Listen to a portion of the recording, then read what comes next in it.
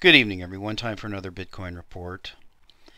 Well, you can see the price of the Bitcoin on Mt. Gox. It has been stabilizing. Uh, you can see we ran all the way down to 50 bucks or so on the low after the crash and then uh, rallied promptly to about 130. Quite a bit of volatility. Now we seem to be stabilizing at about 100 now, some people will say, well, we're just going to collapse somewhere. I, I really don't think so. I may be wrong. Uh, but uh, again, I've made my predictions. They're a matter, matter of public record. Uh, I predicted that the Bitcoin would break through 40, uh, taking out that all time high, run through 50, and then run to 100 and correct. Uh, after I saw the strength of the Bitcoin after that correction, I predicted that the Bitcoin would run all the way to 300 uh, before it would correct. So uh, it didn't quite make 300, it made 266, and then we had this catastrophic sell off. So I feel fairly good about that those predictions. Now, a lot of people have made a lot of predictions. Most of those have been after the fact. So uh, we'll just uh, leave that as it is. So, do I think that this point is uh, we're going to stabilize here? Yeah, I think it's going to be here about 75. Uh, either here at 100 or at 75, we're going to start building a base. Go sideways for a while, and then uh, I think the Bitcoin's actually going to make another run uh, at the old highs. Now, one of the reasons I say that is the market depth. The market depth information is fascinating. Uh, I've been covering that. You can see on the market depth of the uh, bitcoins for sale here is all the way up to 117,000 bitcoins. Now that's significantly larger than the market depth that I had been covering that was running roughly 40 to 50,000. So uh, more than doubled the market depth on uh, the bitcoins for sale. But you can see the majority of those coins uh, will say anything above uh, 56 here. You can see the majority of those coins are going to be above the 150 level. Um, now, the market depth of the buying is even more important than that. You can see here, uh, these are broken down in $5 prices. So we'll ignore the, the zeros through one because you know you have people who do a bid for a million at a penny, so that's irrelevant. And we'll ignore $5 and even $10. But if we look here at the $15 and up, you can see that we have 262,000 worth of Bitcoins bid. Now that is a phenomenal increase, and that's consistent with what we've seen being reported by Mt. Gox about a ton of people trying to get in the door. Now I know um, I have a Coinbase account. Uh, the last time I bought Bitcoins, I bought some Bitcoins at 75. Uh, before that, I bought some Bitcoins at 50 on my Coinbase account. Now I went back, actually when we hit 50 here, I was going to go back in and get some more, but I got a message on Coinbase saying our allotment is full, you can buy at some future date, so I just skipped that. Watch the market and and came back and visited that. Uh, actually, tonight's the first time I didn't get that message saying that we filled our allotment. So, what that message tells me is that there's still a very large number of people who would like to get into the Bitcoin. And I think uh, you'll have to go and review my older videos to check the market depth figures. But uh, this number here up in 400 and 300,000, that number has expanded massively. So there's no reason for me to not believe what Mt. Gox has reported that they've just had an overwhelming number of new accounts that they've been trying to process, trying to catch up with, and uh, that's perfectly consistent with that. So uh, if we get into the closer view here, you can see that there's still some volatility. We corrected down to 92. It looks like we're in a bull move now. It looks like somebody jumped in and picked up 2,000 Bitcoin. So, uh, and then you can see uh, quite a bit of wide swings here earlier with that. So we're still stabilizing. I do think that $100 price is going to be the stabilization point, but we'll just have to wait and see. So there were other things I wanted to say about the volume and the action in this chart, but uh, that's going to be covered in a lot of the questions. So I'm just going to jump over to the user questions because some of these uh, go into into depth fairly deeply. So we'll come back and address uh, some of the volume and uh, some of the uh, price issues when we look at some of these questions and I apologize for the speed on this form. Uh, I need to do some tweaking. There's a, kind of a slowdown here. So this first question is uh, from the Chevalier, and uh, it's uh, Brother John. Well, Mike Adams sure is gloating. What do you think of his analysis of what caused the crash? And then it goes into that. Now, I'm sure a lot of you have been following what happened with Mike Adams and Alex Jones. Uh, now it runs the gamut anywhere from uh, conspiracy theory to uh, you know singing their praises, and uh, I I don't really know uh, which way it falls down. I I, cannot say that I put a lot of trust in these guys. For me, they're probably a little bit too establishment, and so. But basically, on the face of it, what they said was that they were afraid that uh, uh they were going to crash the Bitcoin. They were going to use that to demonize it. That seems like a legitimate concern. So let's get back to the chart and uh, look at that. Now, one of the reasons I'm going to say that I do not believe that uh, what happened in the Bitcoin was uh, what they were saying is just simply these volume figures. Uh, so we'll look here on the hourly chart and you can see here the initial sell-off in the Bitcoin was after a tremendous run-up. It was kind of on just fairly steady buying volume. And it wasn't until the technical levels were penetrated that we got uh, uh, some selling but not really significant selling, just an increase in selling volume. That's uh, when we got this sell off. Now, the first thing I would say, if we look at the number of uh, bitcoins here, we're talking at about 25,000, 15 to 25,000. So if you think about it, uh, 25,000 bitcoins. Uh, that's what two and uh, two and a half million dollars at a hundred. So I don't know, $5 million worth of Bitcoins, 4 or $5 million. So the first question you have to ask yourself is if it's the Federal Reserve, uh, and remember the Federal Reserve is printing, of what they've admitted, $85 billion a month. And I'm sure it's much higher than that. Uh, the recent Obama budget has come out, and of course, it's the same as it's always been. Uh, they put the cuts off decades or decade or decades. It doesn't really matter because they're never going to cut anything. But way off into the future, and then tax increases now, and uh, more growth in the size of government, uh, as uh, Jim Puplava pointed out today. When the government says we're going to invest, what they mean is they're going to grow the size of government. So there's no change in uh, the policy of the big government people now, Ben Bernanke has been supporting that all the way by buying the government bonds and printing a bunch of money.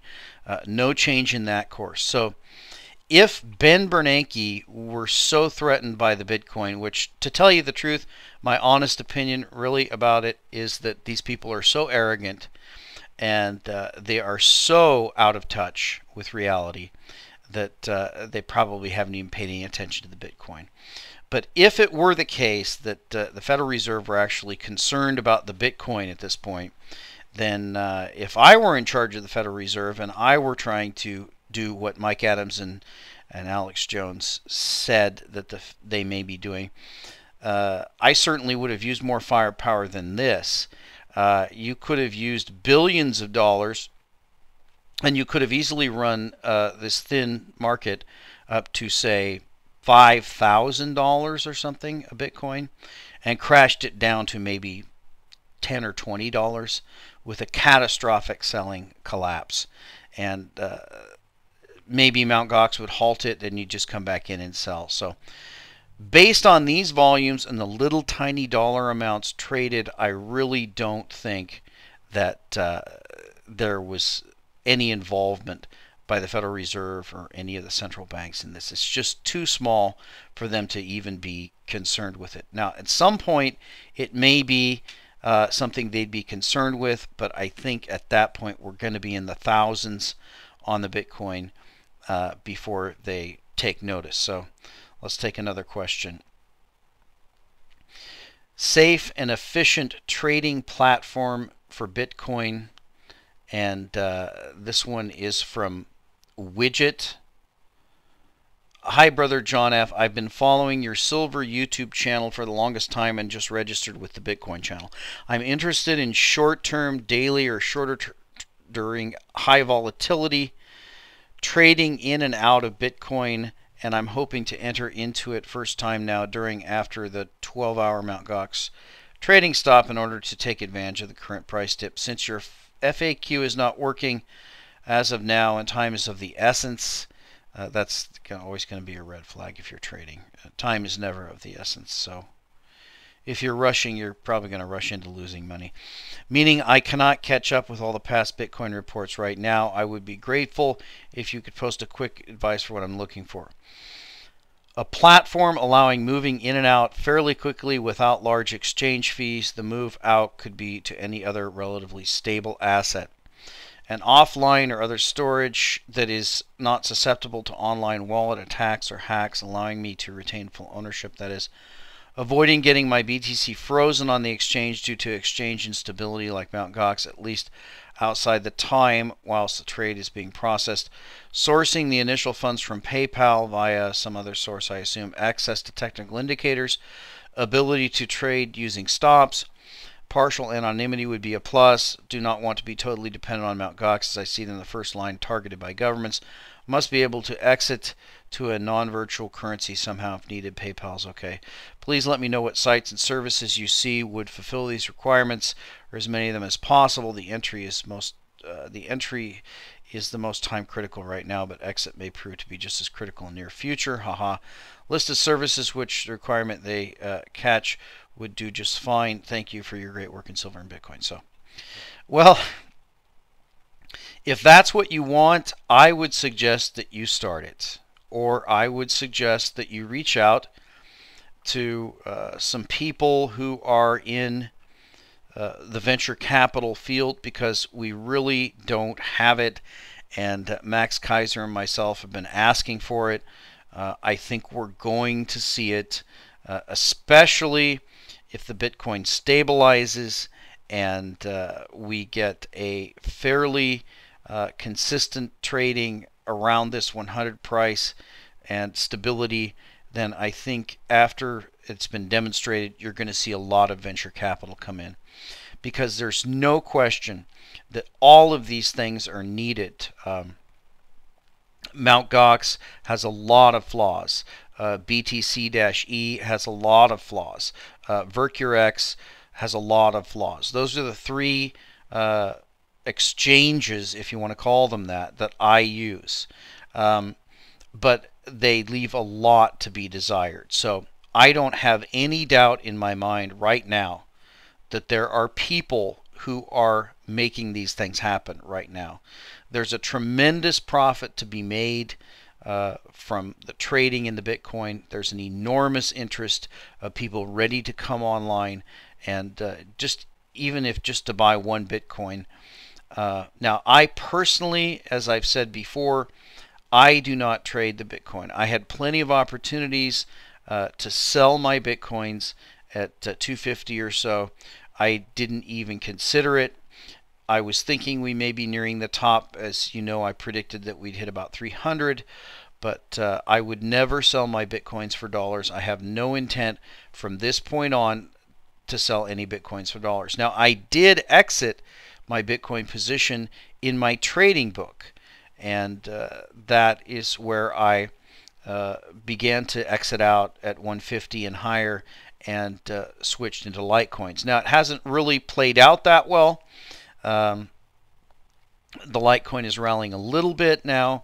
I have some Namecoins, some other coins. But again, I really didn't have any choice because I'm not willing to trade back into dollars and uh, involve myself with any type of uh, tax uh, implications regarding capital gains taxes. So for me, it's a matter of accumulating bitcoins and uh, getting involved in that. Now, as far as an exchange that allows you to trade back into could be gold or silver, that's definitely another idea. That could be a big, big deal. Um, uh, there's there's just many ideas here.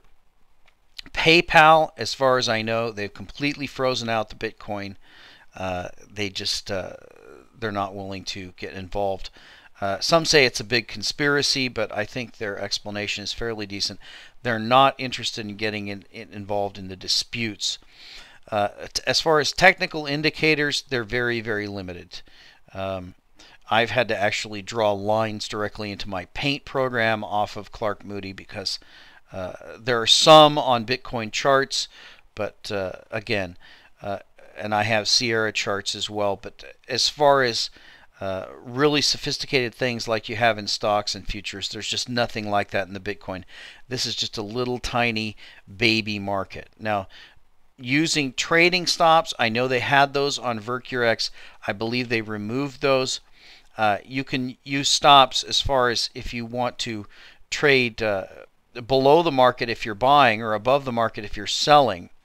Uh, but as far as uh, to have a sell protection stop so that the market falls into your price and you sell out, that that's not available. Uh, partial anonymity, well, again, if you're buying and selling for dollars, uh, you're not going to be able to have anonymity because FinCEN has already said that uh, if it's involved with dollars, it's going to be considered a money services business. It's going to have to uh, comply with the Know Your Customer rule, and uh, Mt. Gox is clearly compliant with that. So, if you're talking about buying and selling bitcoins for dollars, you're not going to have that anonymity uh, unless perhaps you're outside of U.S. jurisdiction. Um, again, uh, Mt. Gox could be targeted by governments. Uh, that anything could be targeted by governments, and uh, must be able to exit to a non-virtual currency somehow if needed. PayPal is okay. So a lot of this stuff, I agree, would be great to have. I think we'll see it in the future, but uh, it doesn't exist right now. Again, uh, we're just in the infancy of this currency, uh, but I really do believe that there are probably a large number of venture capitalists who are probably bringing these things online right now. So we just kind of have to wait and see who's going to do what. And I really don't know. I know there's a lot of really big minds involved in this, but I don't really know if there's a lot of big money involved in it. So getting back to the chart, uh, it's actually very encouraging if we look at the volume figures, as I pointed out earlier, the initial sell-off was actually on fairly light volume. That was just a technical sell-off uh, as where uh, more than anything else, people just simply pulled their bids. So you can have a sell-off on very light volume if there's no buyers. Uh, likewise, you can have a rally on very light volume if there's no sellers. So this does not appear to me to be a sell-off based upon someone trying to crash the market. Now that might have been the case right here. Someone might have tried to crack it. But you can see that with the candlestick spike that we got, they met a lot of uh, very serious buyers. Now this volume spike here, this one is all the way up to 70,000 bitcoins uh, or more. And that was when we hit 50, and you can see that bought a, uh, brought a lot of buying interest into the market. And that was followed up by a significant rally all the way to 130 that was uh, mostly buyers. Uh, since that point in time, we've had some sellers dribbling off. We have a very nice buy spike that is the basis of the current rally. So, based on all of those factors, I am going to predict that uh, the base point for the Bitcoin now is going to be 100. And if we look at all the FUD, all of the attacks, all of the mainstream media, and of course the prostitutes of the mainstream media were waiting for this uh, crash. And again, uh, everyone was predicting this. This is not a surprise. I was predicting it. Everyone was predicting it. I actually gave my price targets, but it was clear to everyone when you see a parabolic spike, you're going to get a correction in that. So that was not a shock to anyone. Uh, it may have been a shock to the people who were buying here at 210, but uh, yes, probably some greed entered the market. But uh, my suspicion is that the vast majority of the people who were buying uh, all the way up here the vast majority of those people, I would say probably 85 to 95% of those people, still have the bitcoins that they purchased. They were just people interested in getting into the game. And by the uh, market depth figures that we're seeing here, I think that there's still a large number of people trying to get into the game. Uh, I'm going to probably look for $150 uh, to be the next price target we're looking for. Now, if we can get above that $150 mark, uh, and I don't know how long that's going to take, but that may take some time as we slowly build. But if we can get above that, we may see another sharp rally to attack those old highs. I definitely don't believe that this bull market is over. Very clearly, the fact that we broke through 40 and 50, ran straight to 100, then ran up to 266, and now we're stabilizing at 100 tells me that we're still in a bull market. And we'll talk to you next time.